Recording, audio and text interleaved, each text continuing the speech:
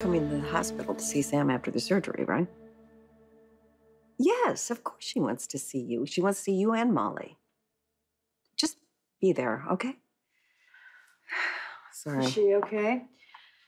She feels bad about what happened with Sam. And And what?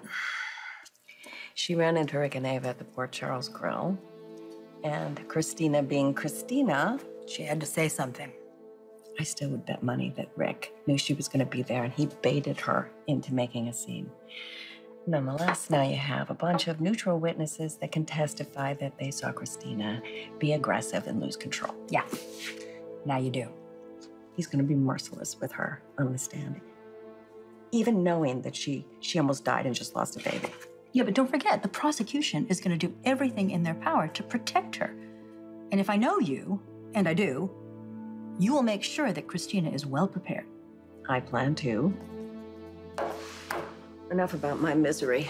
Let's talk about yours. My misery?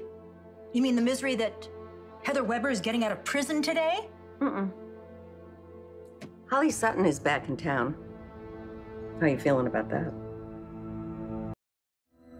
I am well aware of Miss Sutton's return. Fortunately, Robert has assured me that any romantic feelings he may have had for her are well in the past. Well, then I'm happy for you. I know what you're thinking. I'm not thinking anything. Well, then don't ever play poker. Okay, what am I thinking? You're thinking that once upon a time, Robert and Holly were the great loves of each other's lives. That's not a secret. Well, it's also well in the past. Gone are the days when Robert was an international spy and Holly was a globe-trotting con artist. Now, Robert is the district attorney in a town where he has made a life for himself. And Holly is a. Globe-trotting con artist. Exactly. More importantly, most importantly, I know how Robert feels about me. The two of us will be going strong long after Holly has left for her next con. She still has a few hours left in surgery, I know, right? I know, I know. I I know that the surgery is routine and she'll be fine, but I'm a mother, so surgery is surgery. And waiting is always the hardest part. Okay, let's just talk about something else. Have you seen Holly yet? You are so mean. yes, I have seen Holly. I saw her with Sonny. Sonny? Mm-hmm. Huh, I didn't know Sonny knew Holly.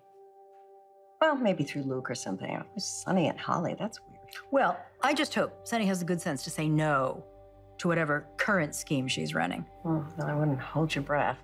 I, I hear that men have a hard time saying no to Holly Sutton. I mean, you know, men that uh, don't know her in the same way It's that Robert fine, knows. it's fine, it's fine. Look, I trust Robert, but I'm not stupid.